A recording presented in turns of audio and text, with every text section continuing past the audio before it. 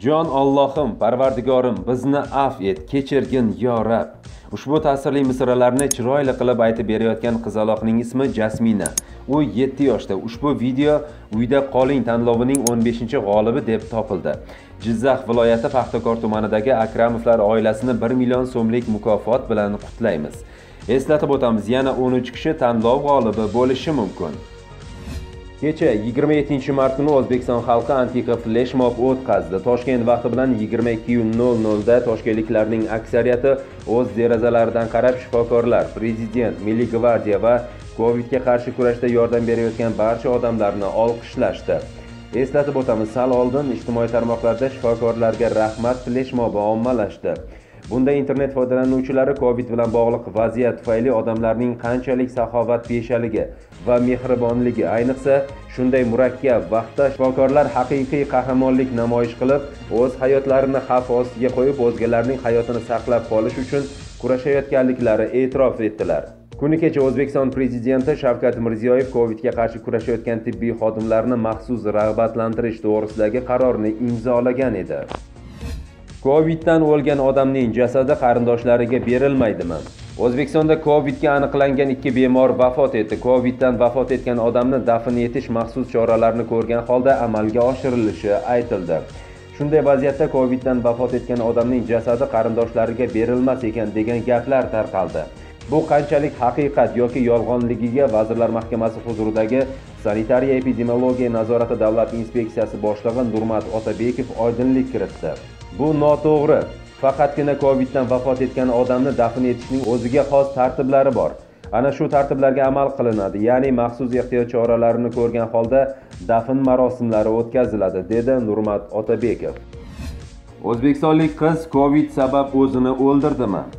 Avvalroq ijtimoiy tarmoqlarda o'zbekistonda bir qiz covid karantini tufayli o'zini o'ldirgani haqida xabar tarqatilgan bo'lib ushbu xabar haqiqatga to'g'ri kelmasligi ma'lum qilindi.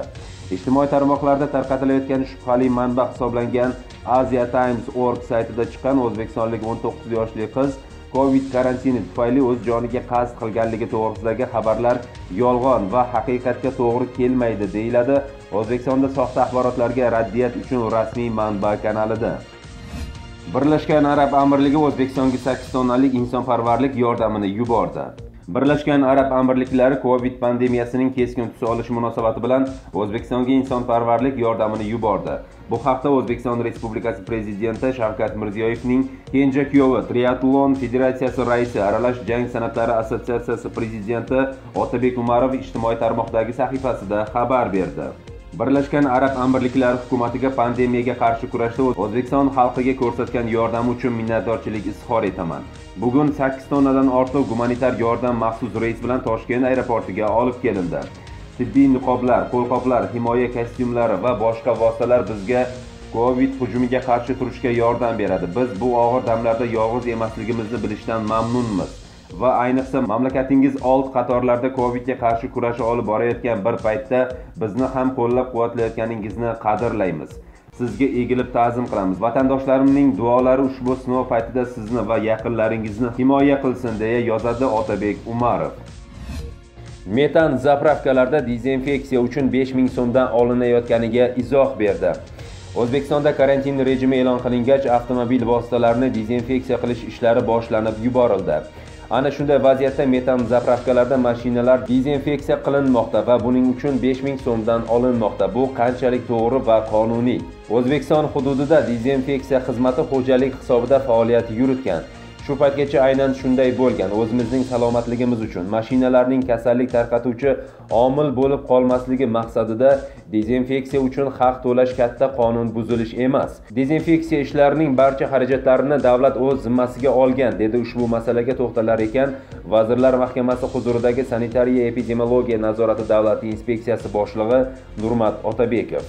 Ta'kidlanishicha ushbu ishlar rasmiy dezinfeksiya stansiyasi tomonidan amalga oshirilyaptimi yoki bunday tadbirlarda soxta ishtirokchilar paydo bo'lib qolganmi? Ana shu jihatlarga e'tibor qaratish lozim. Xushxabar rossiyada covidni davolaydigan dori tayyorlangani ma'lum qilindi. Qayd etilishicha farmzashchita ilmiy ishlab chiqarish markazi xitoy va fransuz tajribasini hisobga olgan holda davolash sxemasini ishlab chiqqan. Rossiya tibbiy biologik federal agentligi covid infeksiyasini davolash uchun bezgakka qarshi dori vositasi asosida tayyorlangan dorini taqdim etdi. Bu haqda agentlik matbuot xizmati xabar berdi. Yuqori darajadagi selektivlikka ega bo'lgan dori vositasi covidning hujayralardagi sitopatik ta'sirini to'xtatadi va uning qayta tiklanishiga to'sqinlik qiladi. Mefloxinning immunosupressiv ta'siri esa virus chaqirgan shamollash kuchayishiga to'siq qo'yadi dedi agentlik rahbari veronika skvorsova. U mazkur dori vositasida covidga chalingan bemorlarning samarali davolanishini ta'minlanishini ta'kidladi. Ushbu ishlanmani rossiya sog'liqni saqlash vazirligining uslubiy tavsiyanomalariga kiritish taklif qilinmoqda. Namangandagi barcha tashkilot va muassasalar faoliyati to'xtatilyapti 28 martdan 5 aprelga qadar namangan shahridagi barcha tashkilot muassasa va idoralar faoliyati to'xtatiladi.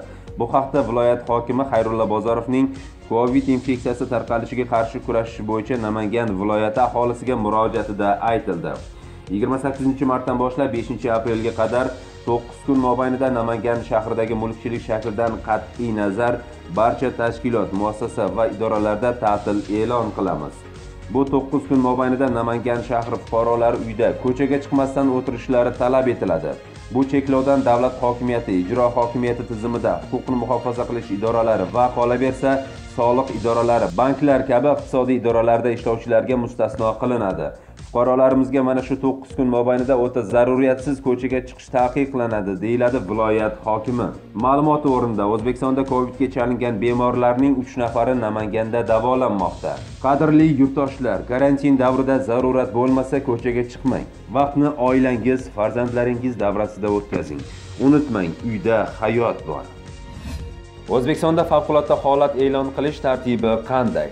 O'zbekistonda covid tarqalishi keng quloch yoyishi munosabati bilan ko'rilayotgan choralar ham keskinlashib bormoqda. Vaziyat jiddiylashgani sari mamlakatda favqulodda holat e'lon qilinish holati yaqin ekanini ko'rish mumkin. Xo'sh favqulodda holat deya kim e'lon qilish huquqiga ega? O'zbekiston respublikasining konstitutsiyasi 93 moddasida davlat rahbari prezidentning konstitutsiyaviy vakolatlari belgilangan. Moddaning 19 bandiga ko'ra prezident favqulodda vaziyatlar real tashqi xavf ommaviy tartibsizliklar yirik halokat tabiiy ofat epidemiyalar yuz bergan taqdirda fuqarolarning xavfsizligini ta'minlashni ko'zlab o'zbekiston respublikasining butun hududida yoki butun hududida yoki uni ayrim joylarida favqulodda holat joriy etadi va qabul qilgan qarorini uch kun ichida o'zbekiston respublikasi oliy majlisining palatalari tasdig'iga kiritadi deya aniq belgilab qo'yilgan. Prezident vaziyatni favqulodda holat deya e'lon qilish uchun asoslar topib buni oliy majlis palatalariga tegishli farmoni kiritganidan so'ng ikki palata ham alohida tasdiqlash uchun ko'rib chiqadi. Zaruratsiz uydan tashqariga chiqish cheklanadi. Respublika komissiyasi yangi karantin choralarini e'lon qildi. O'zbekiston respublikasi prezidenti shavkat mirziyoyevning topshirig'iga muvofiq covidning kirib kelishi va tarqalishini oldini olish yuzasidan chora tadbirlar dasturini tayyorlash bo'yicha respublika maxsus komissiyasining qarori bilan bir qator cheklovlar o'rnatilib muayyan choralar ko'rilmoqda. Xususan 27 mart kuni soat 10 dan e'tiboran viloyatlararo transport vositalari avtobus avtomobil shaharlararo taksi avia temir yo'l transportining harakati yuk tashish hollari bundan mustasno. Butunlay to'xtatiladi. Bunda muayyan hududga taalluqli avtotransportlarning o'z hududlariga kirib borishiga ruxsat beriladi. Bundan tashqari viloyatlar tarkibidagi shahar va tumanlararo transport qatnovi harakati ham vaqtincha cheklanadi. Mamlakatimiz fuqarolarining sog'lig'ini himoya qilish maqsadida zarur bo'lmagan hollarda faoliyatini amalga oshirayotgan davlat organlari va muassasalari hamda jamoat tashkiloti uydan tashqariga chiqishi cheklanadi. O'ta zarur hollardagina ko'chaga chiqqanda shaxsiy himoya vositasi ya'ni niqobda bo'lishi shart. Bordiyu fuqarolar uydan tashqariga shaxsiy himoya vositasiz ya'ni niqobsiz chiqsa qonunda belgilangan tartibda jarimaga tortiladi. Ya'ni bazaviy hisoblash miqdorining 5 barobari miqdorida 1 million 115 ming so'm jarima qo'llaniladi. Shuningdek epidemiologik holatni inobatga olgan holda fuqarolar o'zaro muloqot chog'ida 2 metr masofa saqlashi shart. Ko'chada va jamoat joylarida 3 kishidan ortiq odam to'planishiga cheklov o'rnatiladi. Bu taqiq bir vaqtda harakatlanayotgan oilaga nisbatan qo'llanmaydi respublika hududidagi barcha ko'ngilochar obyektlar shu jumladan restoran kafe oshxona choyxona singari tadbirkorlik subyektlari Uyga yetkazib berish xizmati bundan mustasno. Mamlakatdagi epidemiologik holat barqarorlashmagunga qadar faoliyatini to'xtatmay davom ettirayotgan tadbirkorlik subyektlariga nisbatan keskin jazo choralari qo'llaniladi.